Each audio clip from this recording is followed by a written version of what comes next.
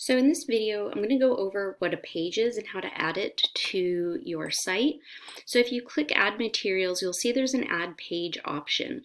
Now a page has all the same features as an assignment. As you can see here, you can insert content, um, you can link stuff, um, the difference with a page is that it's not graded. So a page is like informational only. So maybe you're doing a project and you want to put a bunch of information and resources together in one location for the project. Um, you could use a page.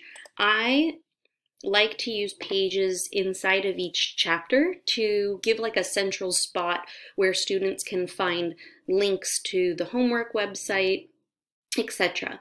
So if we click here, um, this is my page inside of chapter one. You'll notice that I have links and other folders. So if I click on chapter one, the page is right here. All of this is part of my page that I created. And you can see below the page, you have the other folders and the notes.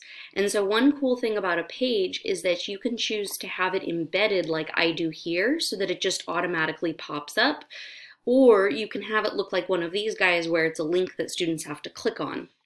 So um, let me show you the difference. So if I go to materials and I go add material and I'm going to add a page. Again, if you haven't watched my how to make an assignment video, I would watch that first. Um, because that shows you how to use all of these resources. So I've added my content and then down here at the bottom, you can either display it as a new page or display inline. So inline is the one that I already showed you. So I'm going to click display on a new page so you can see the difference. I'm going to click create.